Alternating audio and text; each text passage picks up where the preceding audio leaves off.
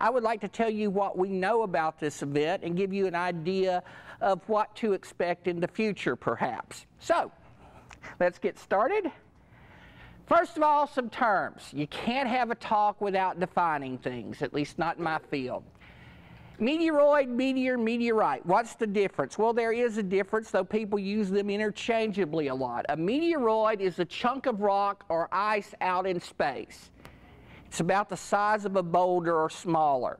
Now, some people ask, what's the difference between a meteoroid and an asteroid? It's all a question of size, okay?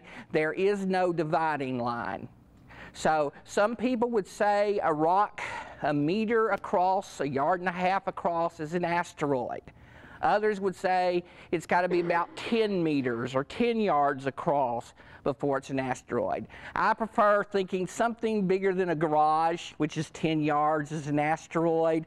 Something the size of a beach ball, that doesn't strike me as an asteroid. I would call that a meteoroid. So that's the difference. It's a question of size, but you will get a different answer depending on which scientist you talk to.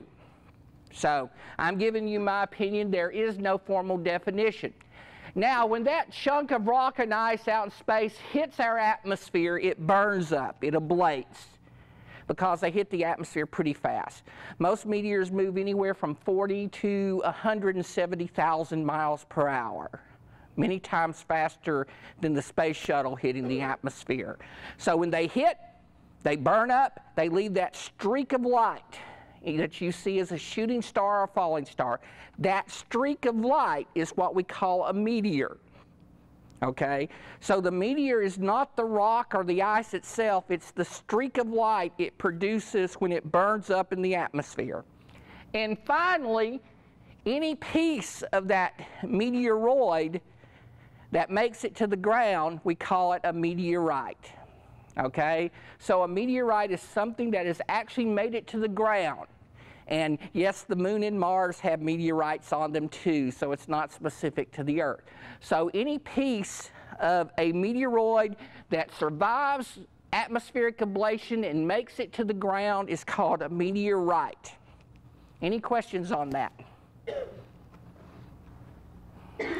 So, Luther now knows the difference here. He got hit whacked by a meteorite. Now, when it comes to meteors, there's a thing called a fireball, which is a bright meteor.